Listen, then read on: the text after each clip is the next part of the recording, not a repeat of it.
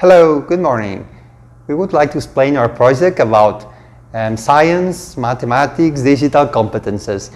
It will present this project in the Science on Stage event. Our project is about the radio, radio connected station Torre. It was developed for our students of Fortofeso, as Jan Accensi, and it was collaborated by the teachers Esther Pinto and Marc Batlle. The radio connected Station make a research of different elements related with satellites, waves, and radio waves.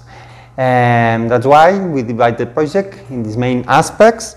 First of all, we will explain the different orbits that orbit around the Earth, LEO, MEO, GEO, and then we try to, uh, to track the radio waves that are emitted along the Earth by different satellites.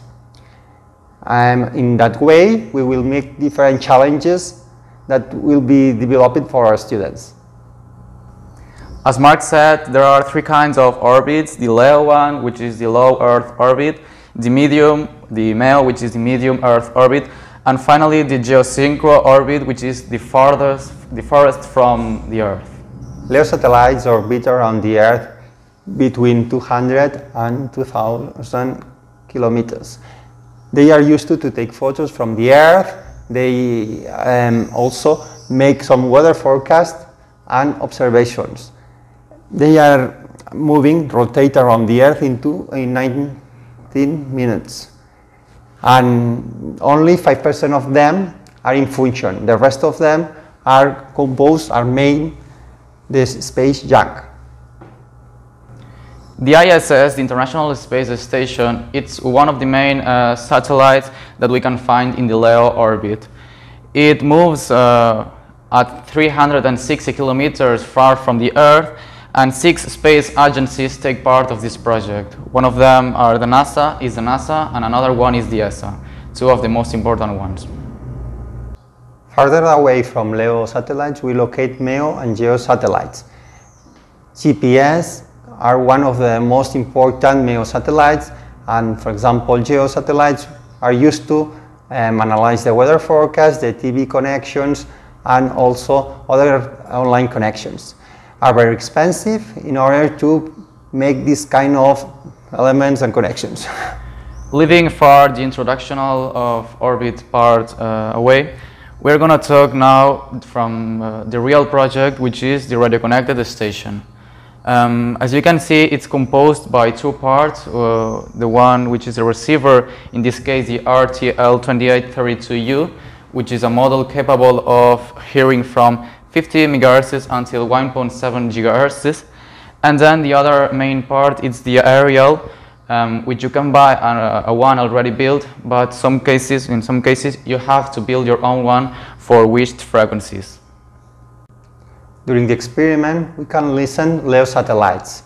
Using different programs, can predict the tracking of them, um, using our aerial and receivers that are prepared for that. As Marc said before, we can listen LEO satellites um, like Radio Ham satellites or CubeSat satellites, which are mainly designed by technical universities. Um, the communication system um, we can use in order to listen this kind of, of signals are from one part sound in terms of FM and AM and walkie-talkie, and the other uh, method communication in this, in this term image, we could use SSTV, which is a slow, slow scan television. In order to improve our radio connected station, sometimes we can build or we must build our own uh, aerial.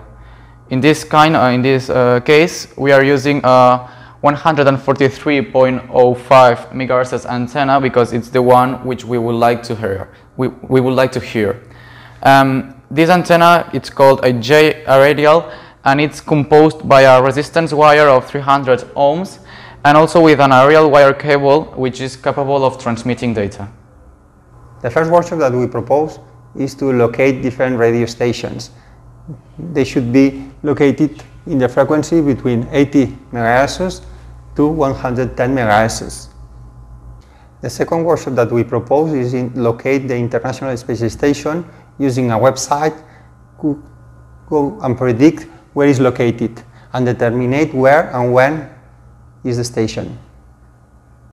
To conclude, we just have to say that with a low budget and a low cost uh, materials, we could do a really interesting uh, investigation about space. Thank you very much.